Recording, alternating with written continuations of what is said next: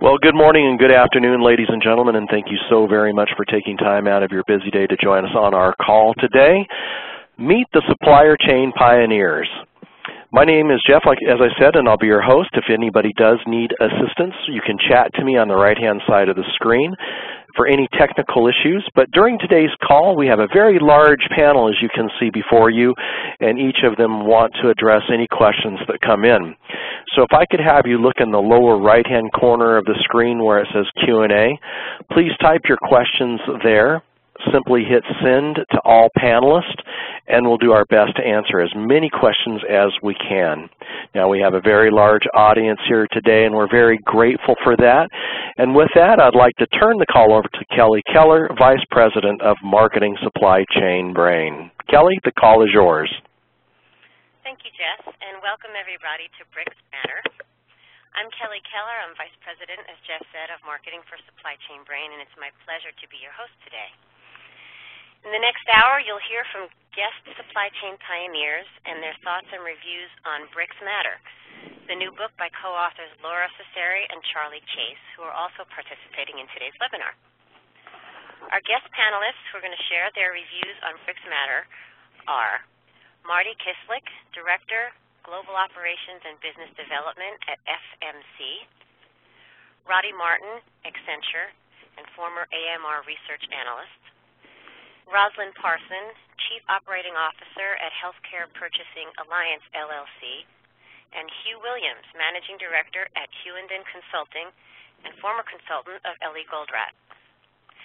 I'll be going through a series of questions for the panel, but we also want to hear from you.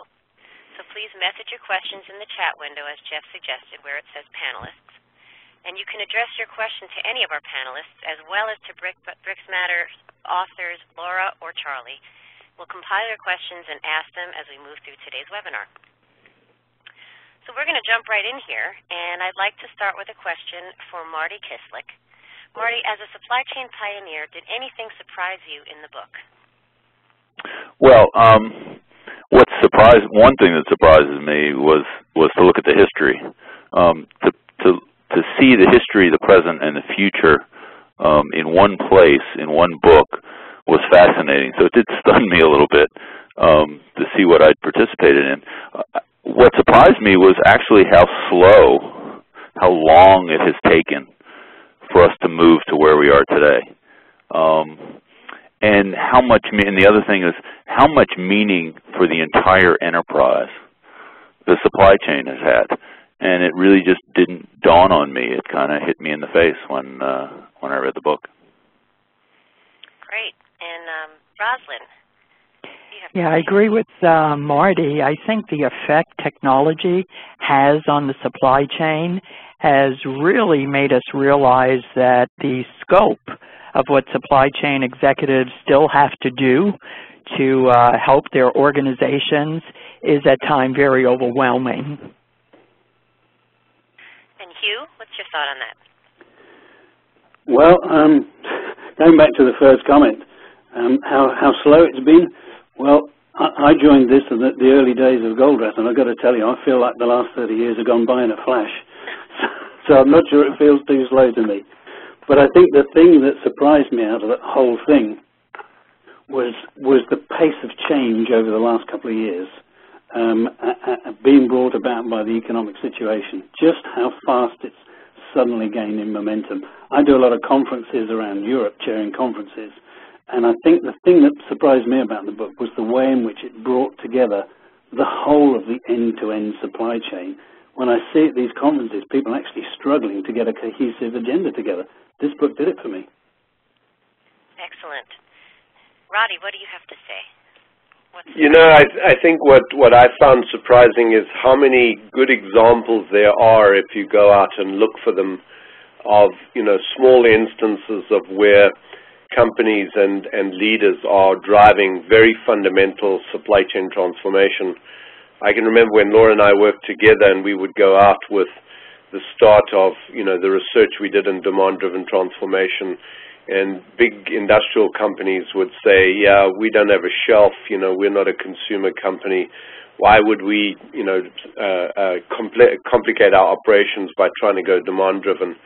And today, even the big industrial companies are talking demand-driven. So I think the surprise was how many examples there are of leaders who have inspiring insights. And second of all, if you really go and look for good examples where companies have got value, they are out there. Mm-hmm. So, Roddy, let's continue with you on our next question. In the book, Lora and Charlie showcase how companies need to rethink how they predict demand to a more market-driven demand management process.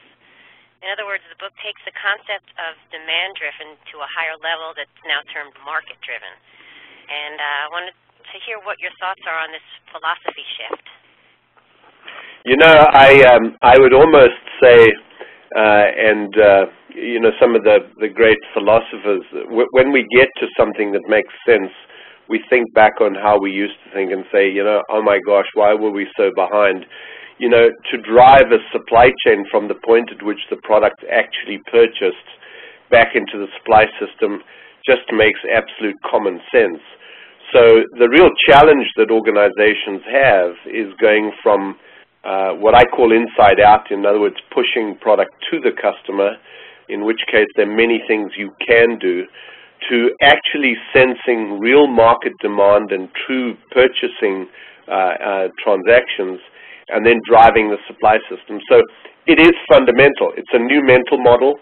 It's a new operating strategy, and I think that's why so many companies battle to make the switch to demand driven because it means thinking very differently about the supply chain, but it's fundamental. And Marty, what are your thoughts on that?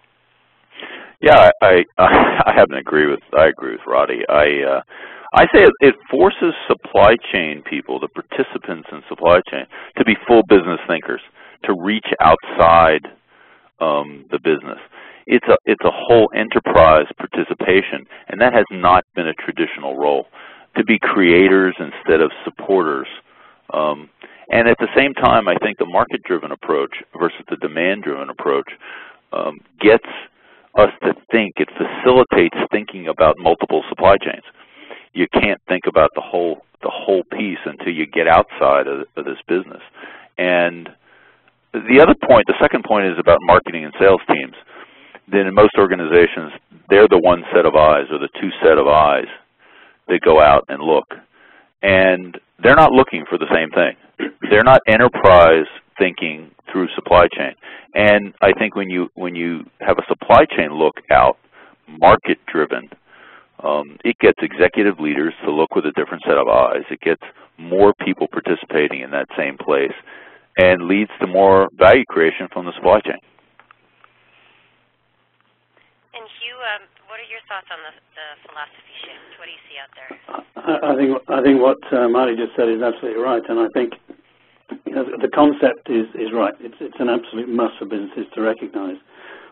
but I think he makes a, a good point in that I think there's a lot of work to be done to get the sales teams to start thinking about, much wider about what their role is in all of this. Because uh, I think, as you say, there's a lot more need for, for sensing what's going out there. And I'm not entirely sure yet that the majority of businesses understand what that activity actually means and what it means for salespeople to do it. But it is an absolute must.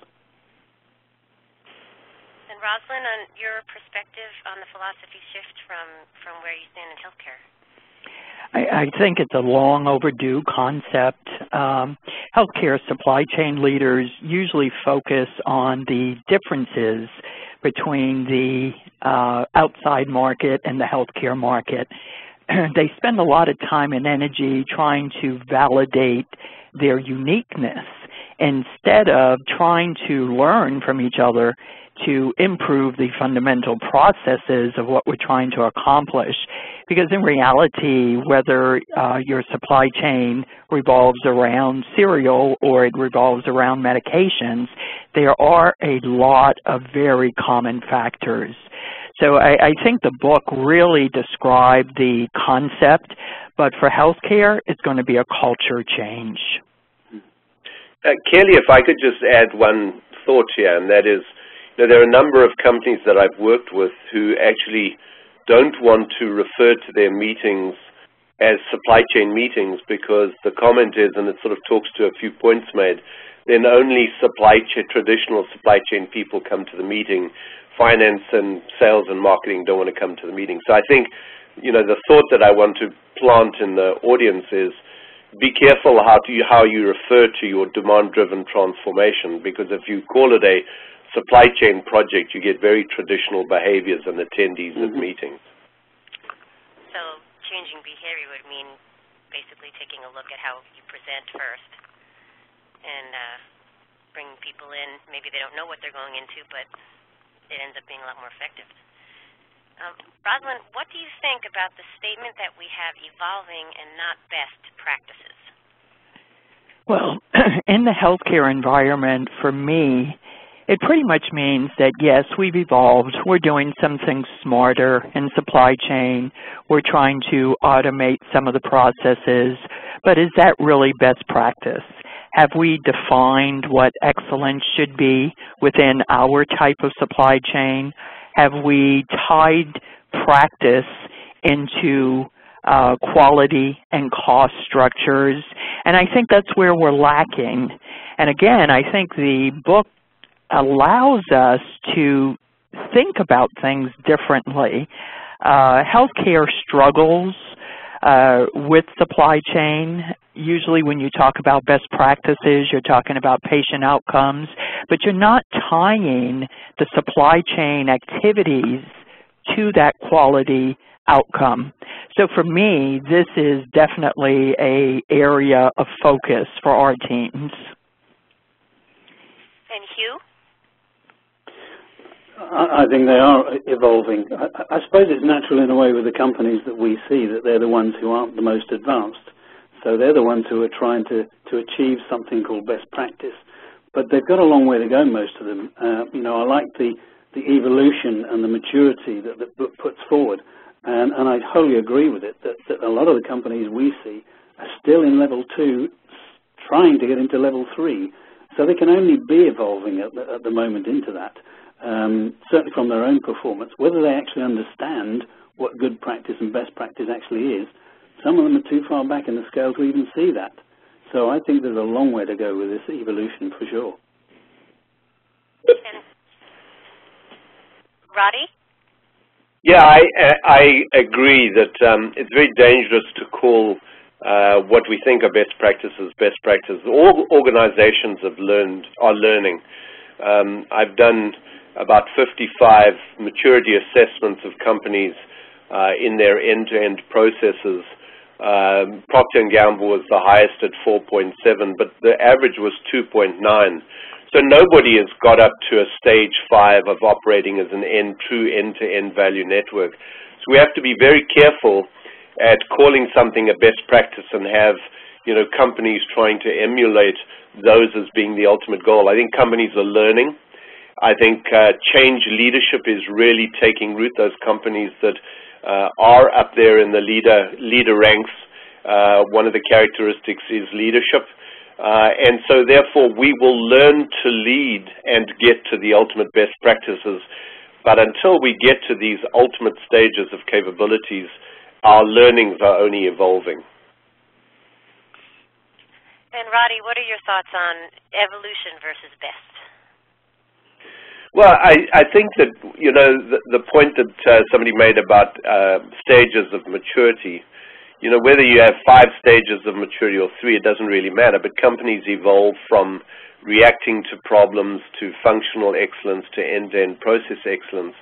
And so therefore, the point is that you can only, you can't jump over phases. You, it's very difficult and I don't believe it's possible to suddenly go from a project-based improvement to an end-to-end process-based.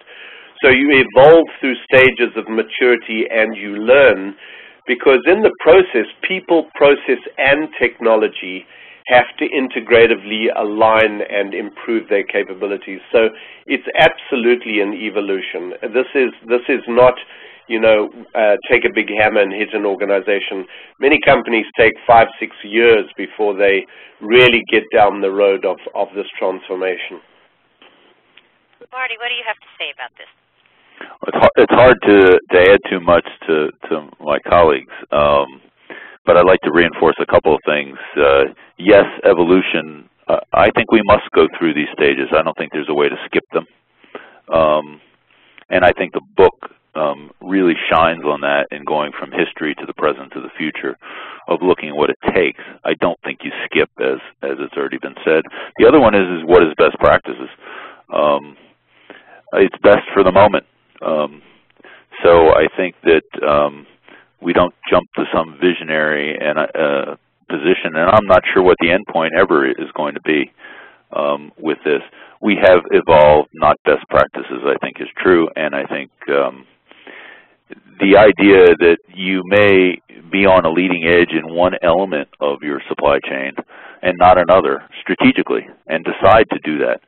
So do we all have to move and be at the edge, or should we attempt to do that? And I think no. So um, yes, it's a very, very interesting uh, uh, comment, and I do agree wholeheartedly with all the comments made. Okay, the next question would be for Hugh Williams. What chapter or piece spoke to you from the book? Well, I have to say to gone through the book, as I said right at the beginning, um, you know, I've been working in this now for the best part of 30 years, so I guess I was there at the start, and I could, I really enjoyed relating to all the history. I think, as one of my colleagues said right at the beginning, I could see all that happening. But the piece that really jumped out for me was, I think, still the nub of the problem out there, which uh, uh it was just said a moment ago, is about leadership. I think there is still a major problem with the people who are at the very top of the tree understanding that supply chain is their business. It's not a department in their business. And I still think with all the companies we see, there is a major problem with that. I've not yet cracked it yet. I don't know how we get these guys to, to join it with it. But bringing out that, for me, bringing out that piece about leadership and its importance, or shall I say its importance if it's not there, uh, that was the bit that really resonated with me. Rosaline, how about you? What chapter piece spoke to you from the book? Uh, for me, it was chapter six. Um, being a clinician uh, in the supply chain world, I was so used to having algorithms. So first of all, I loved the section with the key concepts. It's an easy way for me to visualize something and it gets the brain cells going.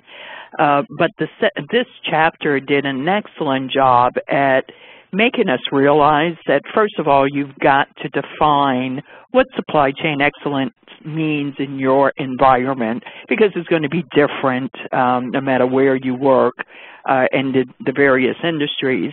It then also made me truly realize the importance of um, the human resources that we're going to need, the talent management. I agree with my peers on this call. I think, you know, we're doing a lot of things well. We're evolving. We're changing. But we are all at different levels of the maturity model, and we're, we're still struggling. So the chapter um, gave me a lot of good ideas, and it gave me a framework for which I can take back to my teams to try to help them evolve to the next step. Okay. And Marty, what, what chapter or piece spoke to you from the book? Well, of course, being the, the sort of more of the futurist and looking into the future, I think the last chapter, you know, relating to where it's going really talks to me because I think this – when when companies do change their mental models and when shelf back or buyer back behaviors dominate the way companies design their business operating models, I think we're going to see very different levels of responsiveness and, and the ability to sense and manage risks. And I think the quote that really talked to me was the quote in that last chapter relating to a consumer electronics company where uh, the, the person quoting said, you know, as I speak to my department and I realize that we're still managing on silo metrics and we're not thinking holistically about the supply chain. And I think that that's the biggest challenge that we all have is going from what I call a stage three, which is functional excellence, to stage four to five, which is process excellence. That's a, it's not a trivial uh, trans, transition to make. And I and I think you know if you're going to be successful in end-to-end process excellence, you have to think holistically. You can't have silo behaviors in an end-to-end system because you're just moving the problem around. And I think, you know, Rosaline in some ways is quite fortunate in that the healthcare and life sciences supply chains have so many years of, of uh, companies like the consumer goods and electronics industries learning about supply chain and evolving their end-to-end capabilities. Um, you know, I think it, it puts the healthcare and life sciences uh, industry in a good place to take those learnings, improve on them, uh, and get going. And so, you know, I think you're in a better place than the pioneers who were hammering this out from the beginning. Marty Kisliuk, let's hear from you about which chapter or piece spoke to you from the book. I'm with uh, I'm with Rosaline. Um, chapter six is just one. It's just great. Pulls it together great. It's a great ending chapter. Um, although um, I'm always tempted to read it first. Um, it's where I like to start from. You need to start. You need to plan and create and plot out and be deliberate and have a lot of courage with that plan. And that's what chapter six is. And it does pull the book together rather well. I actually almost, um, when I gave this book to my leadership team, I almost said, uh, read chapter six first, and then I said, well, I don't need to be the editor. It, it works great at the end. It's just my, it just struck me so well. It felt good to me to sit there and, and have a very concise um, approach to plan it, write it, think it, and and really get your team and get everybody behind it, and then start moving. Um, so I really like chapter six. Great to hear. And, and Marty, I'm going to ask you another question right away. This is a little more specific. Why do you feel that we have not reduced inventory? Well, and there goes the holistic comment, right? So as an analyst, we'd get calls and somebody would say, you know, I need to reduce my inventory by 10%. What IT system should I go and buy? And, and that's, that's a manifestation of the dependence, I think, that we've all built up around the use of IT and, and silo. So the reason we haven't reduced inventory is we don't know what the root causes of the inventory problem are. What, in one case, uh, in one company, the reason why inventory hasn't come down, for example, in healthcare may be fundamentally different to why a consumer company hasn't. So it, uh, in my opinion, it's, it's two, two components. One is not looking holistically at the end-to-end -end system and being able to do root cause problem solving as to what the real issue is.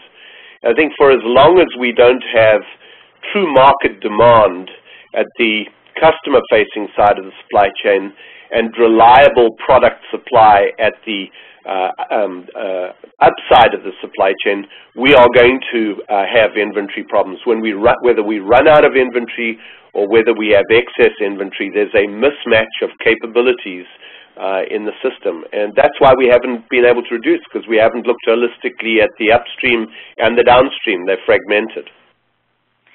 And Marty Kisliuk, uh, what are your feelings about that? Why do you feel we have not reduced inventory? Um, you know, I I agree with Roddy, I, and uh, absolutely the root cause being we just we're not very good at it. But I, I come at it just from a different perspective. Um, I think actually um, many companies have hit structural limits. In other words, we hit our frontier. The easy stuff uh, came quick. The sloppy stuff, you you engage in improving your supply chain, and uh, some of the inventory items come pretty quick. And and once you uh, once you hit that frontier, wow, um, you really banged into it. So I think people are banging into that frontier. Um, I think they're using inventory to address volatility of demand because we're not because just what what Roddy talked about um, until you get out there and really get into the market driven side of it beyond demand driven we don't have the tools and haven't built restructuring uh, haven't restructured restructured. So it's going to take years until we're going to start seeing um, the frontier get moved by changing by the holistic approach to changing our supply chains and looking at multiple supply chains and market-driven supply chains before we're going to start seeing that frontier move and inventories come down. It's still a balancing act. Inventory is a result in some aspects. It's also used as a tool. Right now, I think um, we're in a pretty primitive state. Hugh, what do you have to add about that? I, I completely agree with, with Roddy and Martin. I'd like to just take it a little bit further. Roddy talked about, you know, the reliance on IT uh, and, and, you know, not really understanding inventory from that point of view. And Marty mentioned the frontier. I think when you see companies who are looking at statements like a 10% reduction in inventory as, as a requirement from the board, I think that actually reflects the level of thinking of the people at the top of the tree. I think it tells us they don't understand the role of inventory, why it should be there, where it should be, what it should be protecting. Because to me, a lot of these demands for 10% or, or any such figure like that are pretty arbitrary. They don't even know how much they should have. So how do they know they can reduce it by 10%? So I think with Marty, I think there's a lot of low-hanging fruit that has been taken. I think there are these frontiers there. Still, there are, I think, demands to, to reduce on a fairly arbitrary level. But I think it's the holistic view, as Roddy mentioned. I think it's changing the thinking, as Marty mentioned, and that's why we've got stuck. That's not happening yet. And Rosaline, like to hear from you on this as well. In healthcare, I think there's an additional factor, and that is a lack of trust. A lack of trust of the data, a lack of trust of the manufacturer's ability to get the products to the organizations in time. And then they have the unknown entity. We can't predict when somebody will have a heart attack and their supply consumption goes up. So traditionally, what healthcare supply chain environments have to deal with is an excess of inventory just in case. Because unlike the a grocery store where if you run out of a brand of uh, cereal, you can move on to the next. In the healthcare arena, if you don't have that pacemaker, it, it is a life and death situation. So even though the data may be there to some extent, there's always going to be that concern. They have not learned to manage inventory with par levels and other uh, means that industry has done and is so normal to them. So that's the challenge we have, uh, building that trust level. And then we do see that uh, when we can do it through some of our self-distribution models, let's say, uh, they give up. Then they realize, you know what, I don't need 10 of these $50,000 uh, items just sitting idle on the shelf. And then they begin to understand how we can reinvest that into the infrastructure of the organization. Know, you know, just one one point, and and this is not to to oversimplify this, but I mean we've all heard of five why problem solving. And I think if, if uh, often when we get into a either a high or a low inventory situation, I think if you ask yourself in the organization why five times, you get to some very interesting answers. And I think sometimes those answers are a shock to the organization because they, they, they're not directly coupled to inventory. They impact inventory, but it's the way the organization operates. And I think that's why this holistic and our ability to root cause problem solve, uh, we jump at putting an IT piece in, often in a very functional way, and then we land up with another problem is that we can't see across functions, and so we end up by compartmentalizing the business with concrete walls around functions. Very interesting point. Uh, Rosaline, I wanted to ask you something just in general about the book. What did you learn? What in there? What did you read that uh, that was new to you that you learned from? Well, I, I think a lot of it validated either concepts or processes that, while I may not had have had the actual experience using them, uh, had heard about him. I think what the book really did was put it in such a organized, structured format that it made sense. So the areas where I may not have had the world experience, it was like, oh, now I get it. Okay, I see how this uh, intermingles. I really liked the market-driven um, sections, mainly because a lot of what we do in the hospital can be considered transactional. We know we have to align our supply chain with the clinical world, especially in the day of, you know, decreasing reimbursements and being paid on quality outcomes. Uh, And the book kind of made me realize that there is a way for me to meet with my manufacturers and get them to understand that they do have to invest in more evidence-based medicine because downstream that's going to help the industry as a whole. And of course, if we buy more widgets from them, which is the ultimate you know, goal that they want, then we're helping them to stay viable as well. So it, it was kind of like uh, different areas just struck a different chord with me. Okay, and Marty Kisliuk, what did you learn from the book? Well, I uh, I kind of got a wake-up call about data. Um, I'm not a terribly analytical person, but uh, the, it, there's a picture painted by this book about data and information. Um, and I mean that as much as I mean about IT. It it taught me that um, we're we're slow with it. We're um, it, it lags, and it may always lag, but more about there's a lot of data out there. Are we really design? You know, it pointed at me and said, "Am I really designing to use that data to create information that's useful in my supply chain, and to create insights that I can make decisions with?" Um, I feel like uh, I learned that we're doing a lot of fumbling around with data. We're pointing to IT systems, which are hard to use and are lagging, but um, we can go a long way with what we have, and we haven't done that. Um, and maybe it's just for, it's just personal for me and my organization that that we're going to have to design. I really learned that you got to sit there, you got to design it, you got to get it into the right people's hands in the right form, instantaneously um, for them to and teach people how to do something with it. And I find that to be really, really tough. So I did learn, I did get a wake-up call about data. Okay, and Hugh, what about you? Yeah, like Marty, I think uh, the, the, the, topic around data and the, the scale of the uh, the challenge ahead really resonated with me. But I think there was one more thing which which perhaps even uh, did better than that.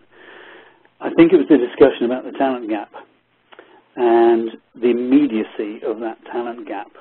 And I think that I'd always recognized that it was there and how people were struggling, but I think it's here, it's today, and I think that was the thing that came through to me. And the very fact that it's going to be here for the next few years, um, because the, the talent that we have is, is scarce, as, as the book points out. You know, the early guys are, are retiring out of this, the young ones are not yet through there, so the sort of fourth generation are not there yet. Um, and there really is a gap out there to uh, wherever you go, whether that's in Europe or the States, it seems to be a global problem.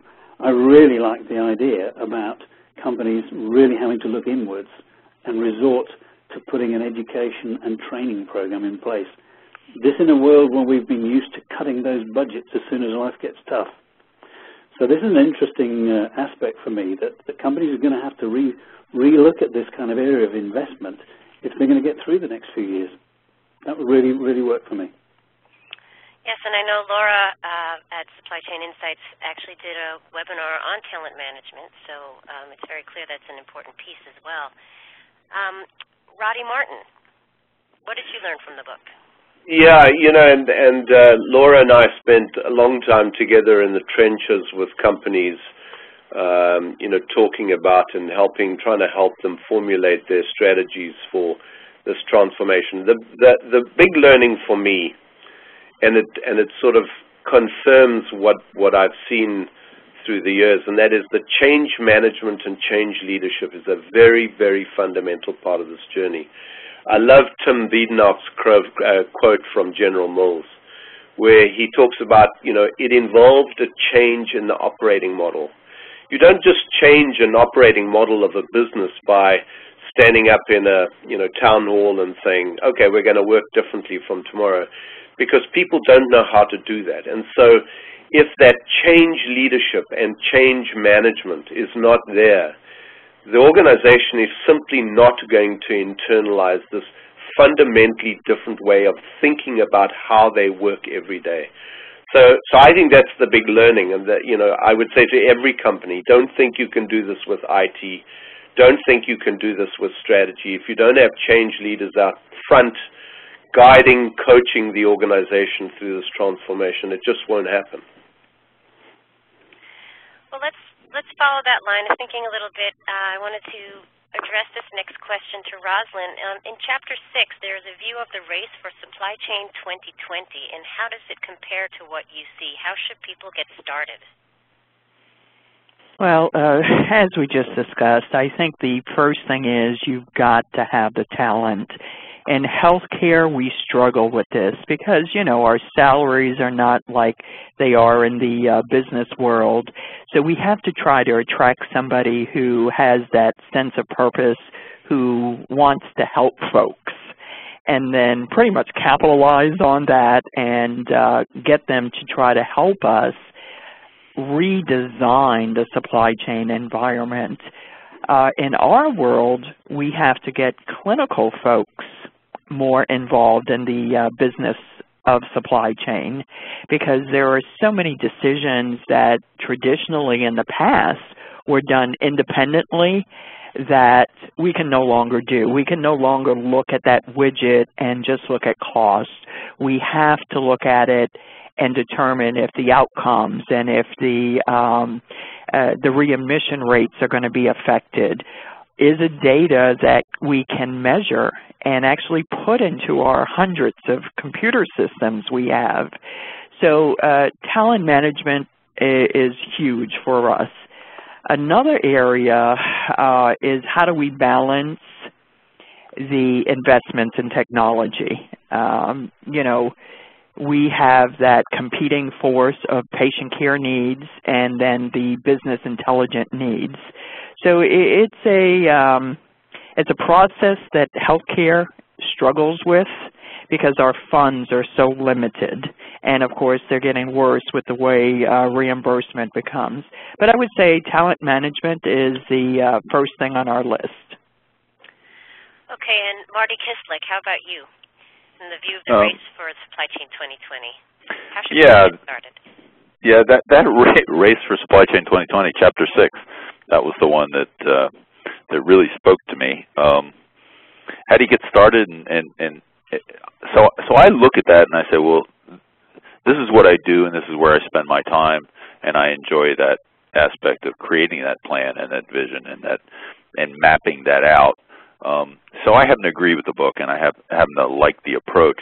Getting started, um, I get started with it by peer forums, by talking to colleagues, by looking and seeking for what companies do great, not in my industry, but looking at other elements of supply chain.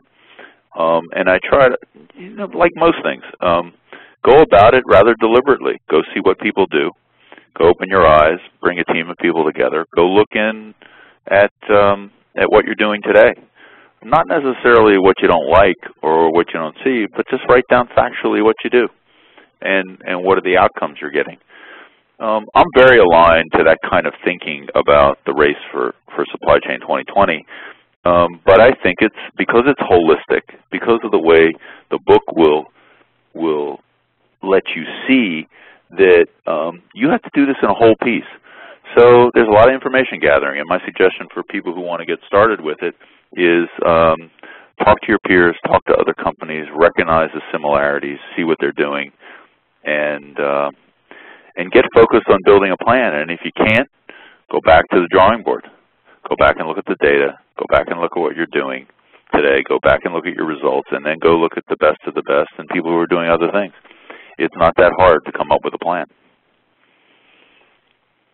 Hugh, what do you see? What do you foresee how people should get started, and how does it compare to what you read in the book? Well, I, I think the clues lie in the early part of the book.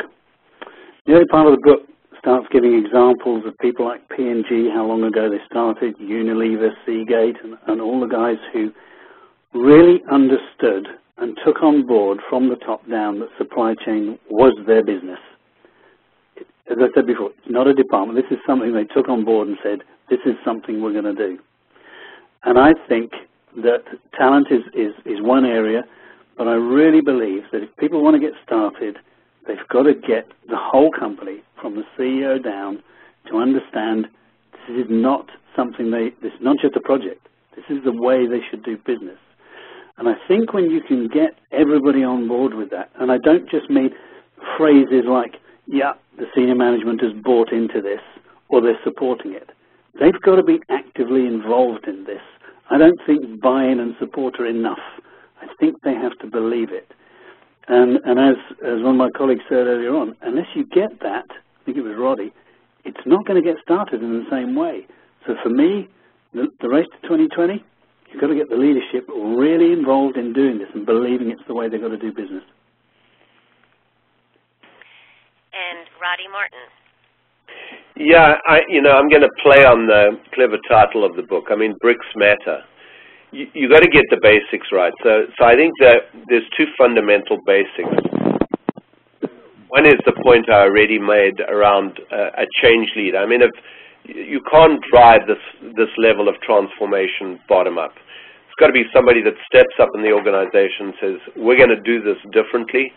And uh, in some cases, it's been as a result of a burning platform.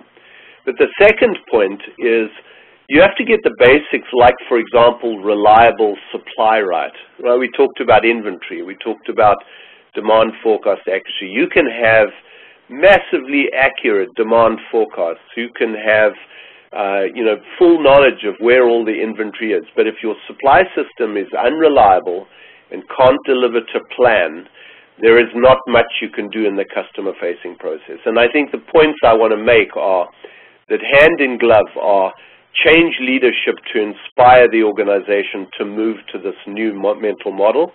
And second of all, the basics in place, the bricks that matter, like reliable and profitable product supply, because without that, there's not much you can do in a supply chain. Understood. I, I wanted to jump to some of our audience questions here, and one of them that looks as if it, it takes a different aspect of bricks, I think. Uh, from one of our audience members, it says, I have not had the opportunity to read the book yet, and I am listening to this call. I understand the supply chain aspects. I guess the title grabbed my attention, thinking of competitive advantages against online organizations such as Amazon. Would be interested in the panel's thoughts of competitive advantages out of employing the book's strategies. So why don't we start with I'll jump at that one. I, I think that's an intriguing question. Okay. You know, it doesn't matter how online Amazon et al. are. There still has to be somebody who makes a product at the back end of Amazon. So no matter how we fulfill and how we take orders, reliable product supply is still really fundamental. So, so the so the argument is that even in an online digitization, big data kind of environment, bricks matter, reliable product supply to, to, that allows you to get your product when you wanted it, how you wanted it, looking like you wanted to look, is still a fundamental requirement of the supply chain. That is the competitive advantage. Okay, let's hear from Hugh on that. Yeah, I agree. I think Roddy, you make a very, very, very good point on that. I think it is the competitive advantage. I was uh, working with a company yesterday and um, I think the, the supply chain director summed it up for me when he made a closing presentation to about 20 colleagues in the room after three days of, of workshop on this. And he said, supply chain is the thing we're going to go we're going to go at. The company's behind it. We're going to move with this. It's probably the biggest thing that is going to take our company forward for the next 20 years. Now, they were talking about people in the building sector all over the world where there's tough competition, there's all sorts of pricing wars, there's um, all sorts of tax problems when you're shipping products around. And his view was unless they did this, they wouldn't actually be able to compete. So there was an element of saying, if we don't do this, we don't get to grips with this, we don't stand a chance of competing in the first place. But more than that, if we do it properly, we'll go way ahead of the competition in terms of, as Roddy said, the reliability of supply, speed to market, new product introduction, all of those things is what they're after, and that's what will keep them ahead of the game. So the fact that he stood there and declared amongst all of them and said, this is so fundamental to us, it's what's going to keep us going for the next 20 years ahead of the game, that, that summed it up to me. It's not just competition, it's about the wealth of a company and success. Rosaline, what are, what are your thoughts on this uh, coming from your sector? Well, I definitely think that uh, our world, while it may be slightly different, we have a lot of work to do. Uh, I think we need to position ourselves where we can learn from those that have been there before us so that it, it can minimize some of the investments and the pain points that we'll have. I think we just need to understand that we have to change the culture. And it's not something that we can continue to put off. We're never going to be able to get to the next step. And, and uh, Marty? Yeah, I look at competitive advantage from, from a whole enterprise standpoint, um, not from a supply chain standpoint. So when we pick on or when we look at an element of the business and talk about competitive advantage. Um, I find that to be a rather narrow focus. Um, so, so if a company is looking at at their competitiveness as an enterprise, as a business, I can't separate supply chain, and and to let people attempt to do that would would be wrong. Now it's hard to get leadership to, to look at that. Many people look at supply chains and say delivery and service and and cost and and these but but I I don't separate that and say what's your business mission? Who are you serving? Who is that customer? What value are you creating for that customer?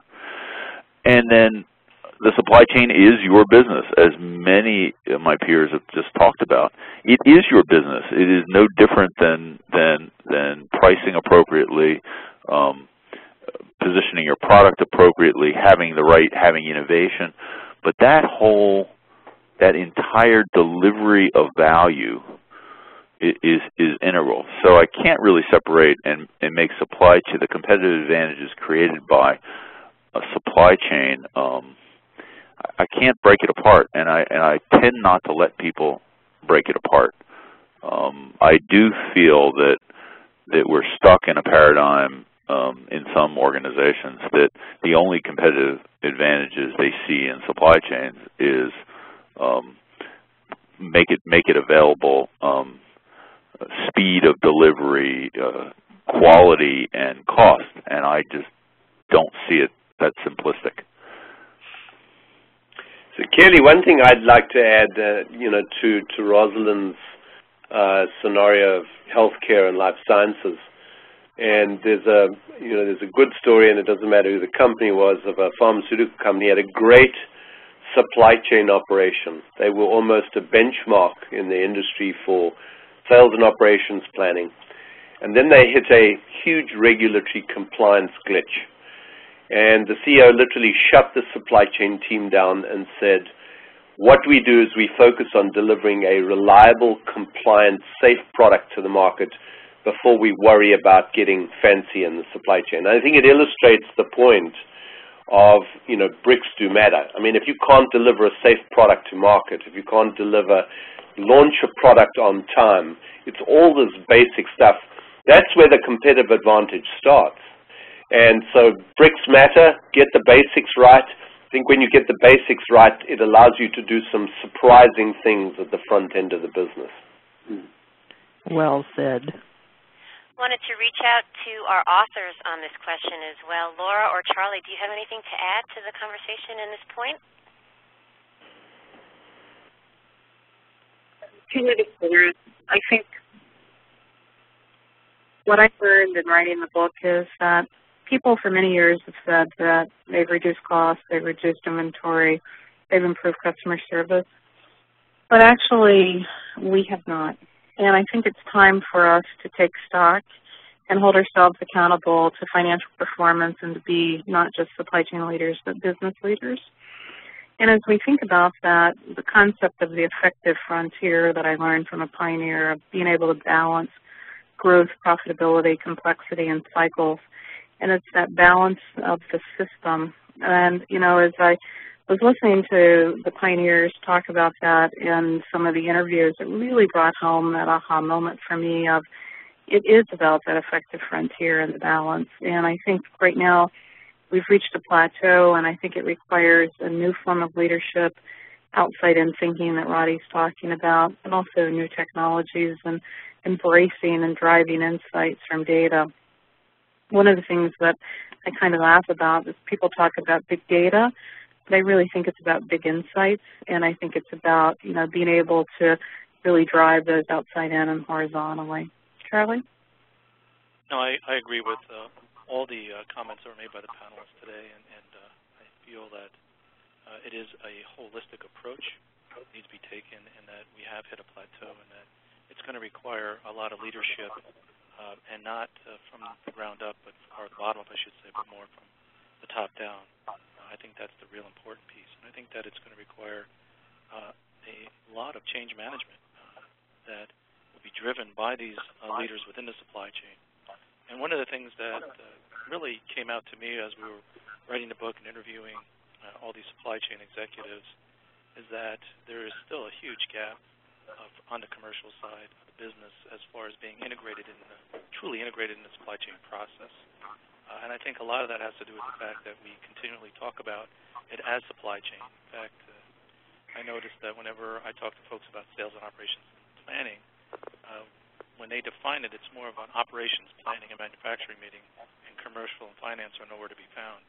And I think one of the things that came out clear to me in our conversations was the fact that this was a piece that was cited by several of the executives that uh, we interviewed that it was they were having a difficult time getting the commercial side of the business to participate in the supply chain process. So I think that's where uh, one of the frontiers is that we need to uh, overcome is to find a way to get them to be more involved, and I think that's going to take leadership from the top down. Understood. We have time. I'm going to ask, I believe we probably have time for one more question to hear from the panelists about. Um, want to start with Rosaline. What one visionary prediction would you dare to make that you think could be a driving force in supply chains over the next five years? Well, I think the culture change for healthcare has to occur. Uh, our world is so different. It continues to evolve. The way we have to care for our patients, you know, is entirely different than 10 years ago. In the past, we made money by having patients come in. Now, it's all about wellness and prevention. So how do I get the key individuals within our organization to understand that supply chain, first of all, plays a huge part in this process and that we can't remain stagnant any longer. I mean, we owe it to our communities.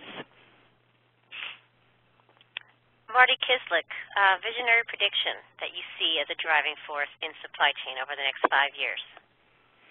Well, I think I think what's going to, one of the things, and my prediction will be, um, is agility. I think that um, that is, will emerge incredibly important. I think regulations, volatility of, of markets and demand, um, innovation, crowded spaces, sustainability efforts, these are going to force organizations to look at their the agility of their business and the agility of their business is built on the agility of their supply chain. Um, and I think that that will emerge um, that that will make people think differently about how they create, how many different supply chains they have. How when I say agile, I'm not talking about um, a few kilos in their range of outcomes for the next uh, six months to a year. I'm talking about significant shifts in market market dynamics, which points right to market-driven um, information and mar outside in thinking. And I think that, that that outside in thinking is going to bring a real focus on agile supply chains. Roddy, let's hear from you on this. Yeah, I'm going to build on that last comment of agility. So, so let's. Um, I think the the the big um, uh, insight that I'm going to give over the next five years, and that is, let's not underestimate big data and the impact of digitization. Because at the same time as we're building agility to change in the supply system, um, the, the analysis of unstructured and structured data out in the marketplace connects dots that we didn't even know were connected. And I think that as technology in leaps and bounds in the analytics space starts to make it possible to very easily analyze and find connections and patterns that we didn't even know existed, if you didn't have the agility to be able to respond, you're going to lose it. And so my, my, my expectation, my insight for the next five years is big data and digitization is going to have a huge impact on the way supply chains operate and the agility that we need to have to stay competitive. And lastly, Hugh, your prediction for one. I think we're going to get a whole lot of change in organization structure. I think we're going to see a crumbling over the next five years of the traditional departmental silos. And I think we're going to see a lot more things coming under the banner of supply chain. One of the things, just as an example, I think we're going to see procurement directors becoming subservient to supply chain directors. We don't see that today very much, and I think we're going to start to see a number of those coming under under the supply chain wing as being part of that in the end-to-end -end supply chain as businesses take this on board as their central driving theme. So it's organization structure for me that we're going to see.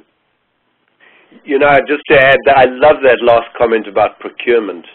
Uh, I can remember chief procurement officers saying, my future leaders in procurement will be able to sit in sales and operations planning meetings with salespeople and actually start procuring at the right place in the demand cycle.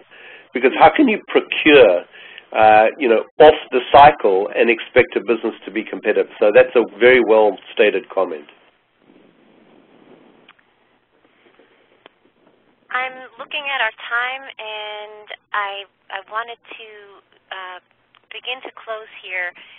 Uh, Marty, what are your takeaways from the book? Just want to quickly jump in with like, probably maybe a few seconds for each person. Just one big takeaway from the book that you'd like to leave the audience with as they go into reading it themselves. Well, um, I may be repeating myself um, with a takeaway, but data insights. Um, data hit me over the head. It's long, hard, and difficult. Um, must be focused. I know Roddy's talking about about big data and uh, data we haven't seen or unstructured we don't know what to do with now. Um, decisions and insights from this data. Uh, it's it's just um, the book makes it uh, incredibly important to think about, especially as you start think, thinking about market driven and you look at the evolution. Um, we're a lot about information, and I think uh, yes, we need the bricks. Uh, and part of the bricks you have to think about is information. Bricks matter.